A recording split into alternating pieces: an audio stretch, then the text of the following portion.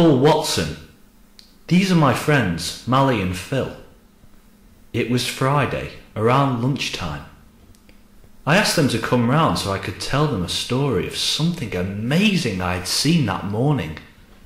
And that is my story.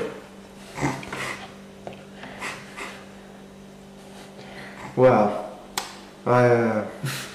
Well, Paul, I don't know what to say. Come on, Paul. He's a fictional character. He doesn't exist. I know what I saw.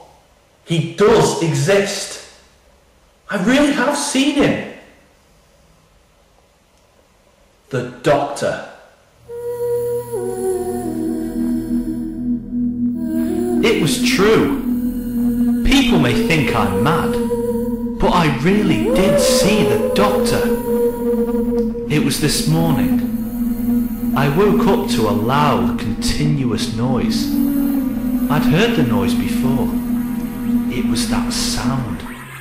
That glorious sound of the universe. It was the sound of the TARDIS from the television series Doctor Who.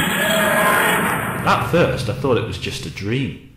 But of course, I really was awake. I looked out of my window and a man was standing there in my garden.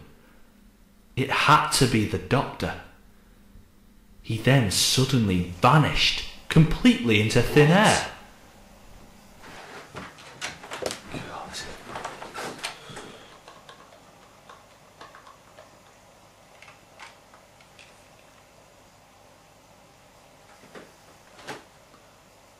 Oh, Mally, it, it's Paul. It, yeah, can you come over, please? Come round for a bit? Yeah, yeah, ask Phil as well. Okay, thanks, yeah. See ya.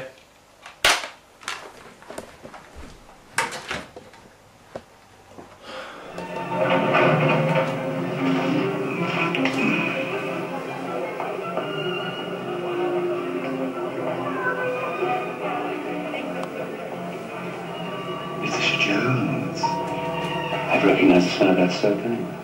Professor? I'm sorry, ladies and gentlemen. You'll have to excuse me when I take care of Letitia here. I've been neglecting her.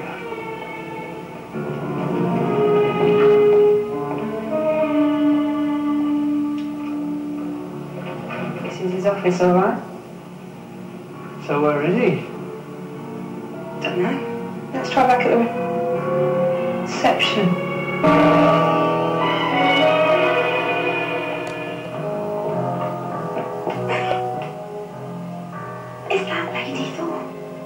Used to be. It's just a shell. I don't the life energy drained out. Like squeezing the juice out of an orange.